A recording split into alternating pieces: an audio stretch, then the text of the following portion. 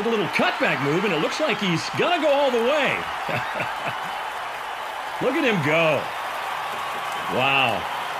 This is really one of those heartwarming moments in sports where you